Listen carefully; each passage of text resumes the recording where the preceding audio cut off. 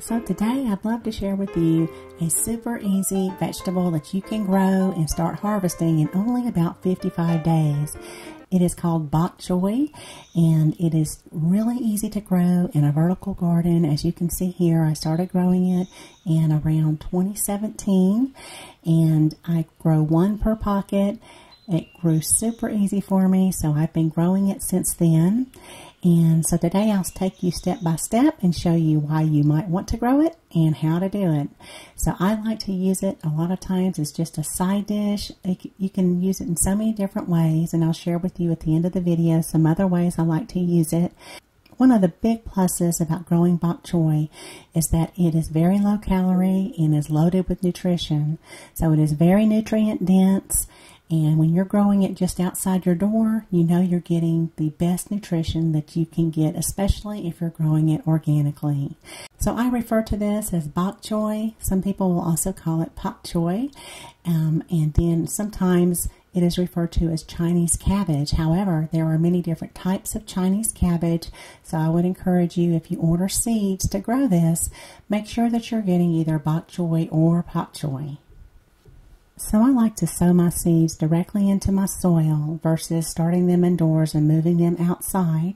Um, most of your seed packets will get you started and give you some general instructions on how to get it growing. One of the nice things about growing bok choy is that you can harvest it at just about any stage. You can begin harvesting and when it's very small, the baby stage, all the way until it's mature. And so let's say you planted an entire GreenStalk of 30 plants of bok choy. You could start harvesting it at the baby stage and then two weeks later it would be at the mature stage. So you could harvest about two pockets a day for two weeks and have a wonderful side dish to enjoy with just about anything that you like to cook. Now, one thing about growing Chinese cabbage in general is it is not tolerant of the heat. So make sure you're sowing this at the right time of year. And typically that's going to be in the very early spring for most of us or very late in the summer so that it will have an ideal growing temperature as you go into your fall season. So make sure your soil temperature is anywhere from 50 to 75 degrees Fahrenheit and that it will be growing during day temperatures of 60 to 75 degrees Fahrenheit or at night from 50 to 65 degrees Fahrenheit. So I like to sow my seeds directly into the soil versus starting them indoors and having to tend to them like that with grow lights and then moving them outside to harden them off and then eventually transplanting them into the vertical garden.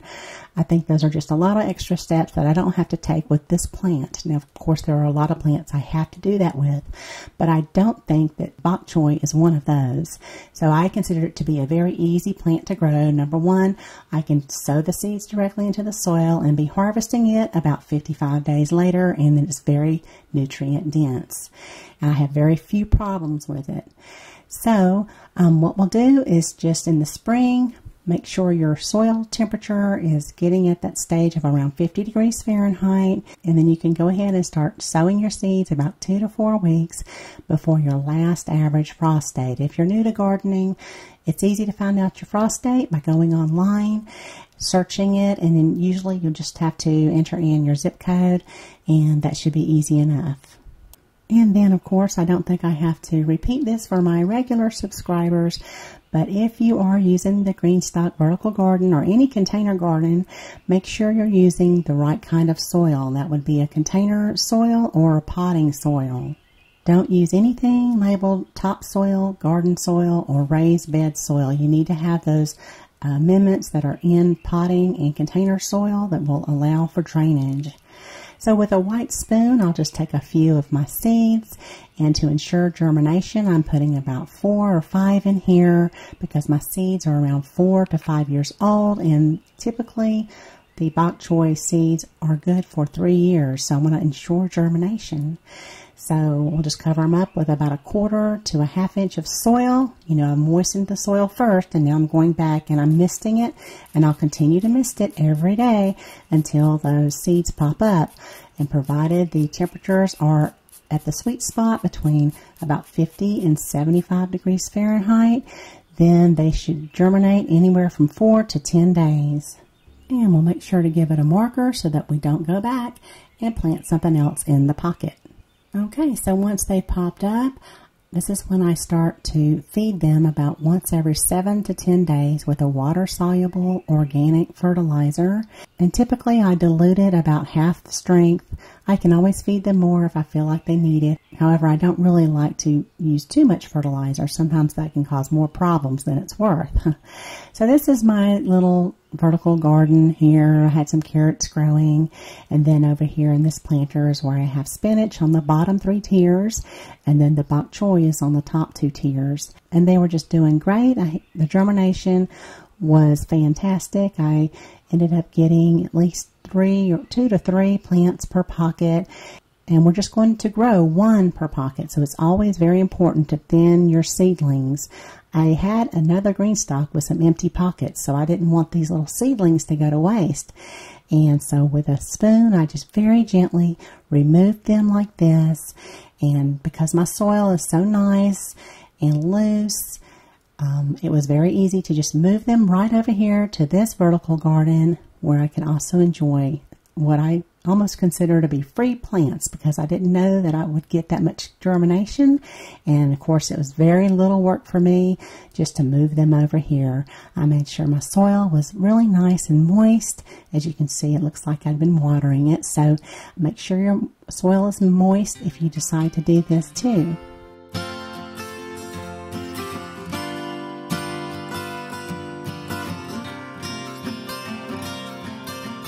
And then just a few weeks later, this is what they look like. This is when it's just a little bit over the baby stage, but wonderful for growing. This was only about a four weeks growth. So you saw how the spinach looked before, and then this is the bok choy um, only after about four weeks. So this is a good stage to start harvesting bok choy. Um, this is an example of where it has started to bolt, and that was at the end of November. So as I mentioned, Chinese cabbage is very sensitive to heat. And so this cabbage has started to bolt, really not so much because of heat. It had just been in the garden too long. It was getting overgrown. So, um, but this will also happen if there's a lot of heat. Maybe you're going from spring into the summer. And so as you can see here, it's looking very leggy. I had actually already pinched off a lot of flowers and fed them to my chickens. So this is an example of bolting uh, Chinese cabbage.